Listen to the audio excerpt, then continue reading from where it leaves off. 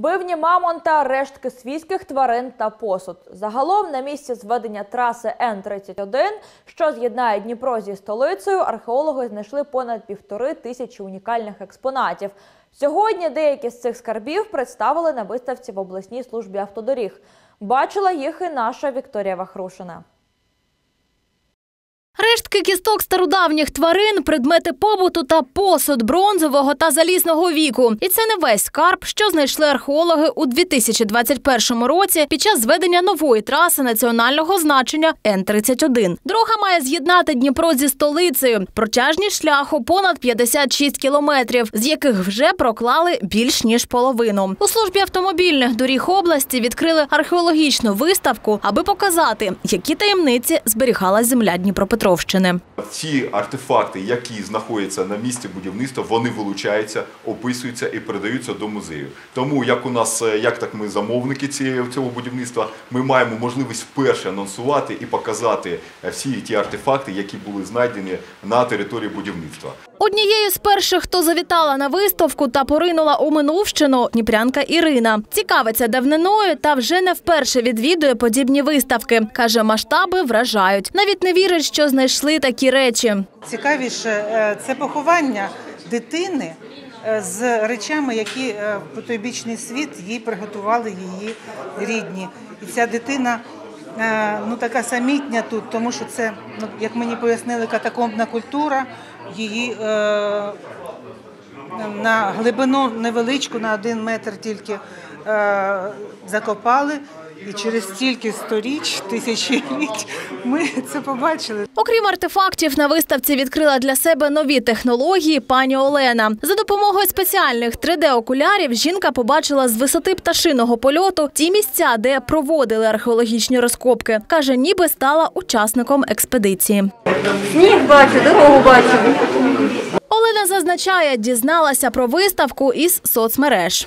Найбільше мені вразило якраз, от, е, мабуть, е, скелети собаки. Е, І, і взагалі знахідки е, бронзової доби, тому що е, я не очікувала їх побачити. Я очікувала побачити е, речі, які були ну мабуть з 17 по 19, 20 сторіччя викопані. Наприклад, тому що я знала, що в цих ґрунтах вже люди проживали, на цій місцині вже люди проживали, але я вражена, що це настільки ра- ра- ранньої доби є експонати. Археологічна робота зазначають науковці копітка. Та завдяки тим предметам, які вилучили з під землі, можна достеменно реконструювати побут тамтешніх мешканців, які жили на цій території тисячі років тому. Для нас золото це інформація. Комплексно дослідивши декілька тисяч зразків е, кісток, проаналізувавши їх, ми можемо отримати наше золото, інформацію з них. Що це за тварини, чим харчувалися, як їх розводили і так далі. І аналізуючи побут, ми реконструюємо життя- життя страдання цих людей. Час розкопок у 2021 році археологи працювали на п'яти об'єктах, обстежили 16 тисяч квадратів площі та знайшли понад півтори тисячі артефактів. Окрім е, поселень, давніх поселень, е, які датуються ще 5 тисяч років, 3 тисячі років в цьому діапазоні, оскільки це багатошарові поселення, місця заселялись е, людьми упродовж досить тривалого періоду. Ми ще знайшли і е, кістки викопних тварин, які сягають льодовикового періоду 45 тисяч років. Ви все це можете тут побачити. Які відносяться це кістки мамонта, які відносяться до е, пізньоплейстоценового періоду. А ось і рештки давніх тварин. Їх знайшли археологи поблизу села Рудки. Кажуть, цим кісткам від 45 до 10 тисяч років до нашої ери. Саме тут ви можете бачити уламок бивня мамонта, який він використовував для розгрібання снігу, щоб здобувати собі їжу. Тут ви можете бачити його ребра та е, кістки е, довгих е, та уламки довгих кісток. Тут можна побачити шерстистого уламки шерстистого носорога, рештки.